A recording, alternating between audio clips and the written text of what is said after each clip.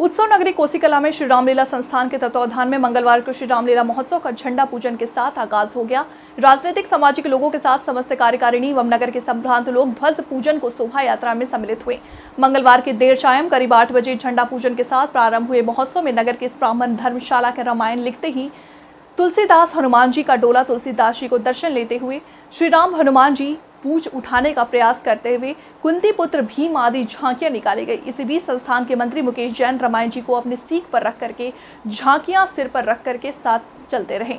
झांकियाँ उत्सव नगर कोशिकला के प्रमुख स्थानों से होते हुए भारत मिलाप चौक पहुँची। वहाँ पर मेला आचार्य पंडित और मुकुट शास्त्री के मंत्र उच्चारण पर ध्वज पूजन कराया गया। आज के झंडा पूजन के मुख्य अतिथि लायंस क्लब इंटरनेशनल फाउंडेशन राष्ट्रीय कोऑर्डिनेटर पीसी जैन ने मंत्र उच्चारण कर मध्य रामायण पूजन किया। इसके साथ ही उनके बड़े भाई गिरिराज प्रसाद जैन एवं सतीश चंद्र जैन और उनके मित्रगणों ने पूजा में भाग लिया और उसके बाद हनुमान जी की आरती उतारी।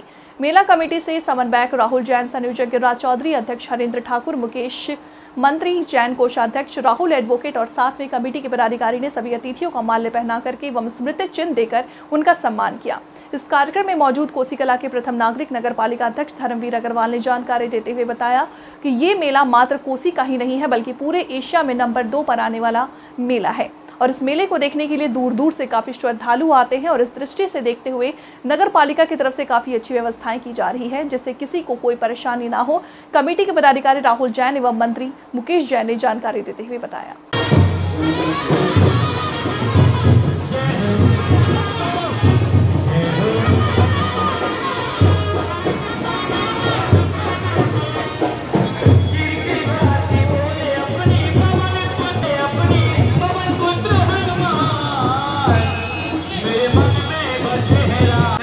पूजन का कार्यक्रम था तो क्या कहना चाहेंगे आप? जय श्री राम।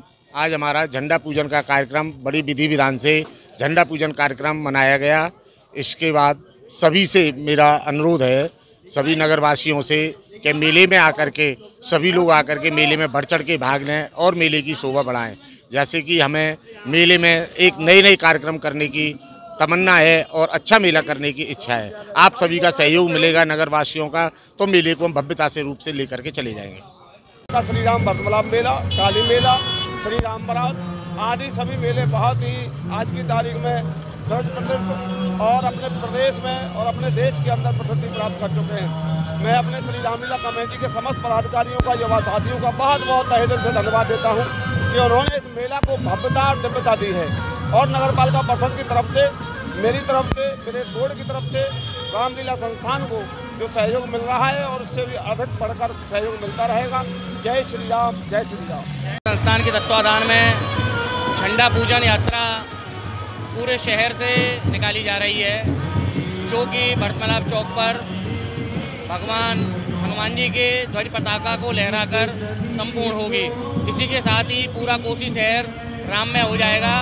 एवं श्री रामलीला महोत्सव का शुभारंभ आज कोसी कला में होने जा रहा है। आप सभी नगरवासियों, सभी दानदाताओं, सभी पत्रकार बंधुओं एवं सभी शहर के समाज सेवियों से अनुरोध है, इस महोत्सव में अपनी सहभागिता कर श्री रामलीला संस्थान का उत्साहवर्धन करें एवं पुण्य लाभ प्राप्त करें। जय श्री राम।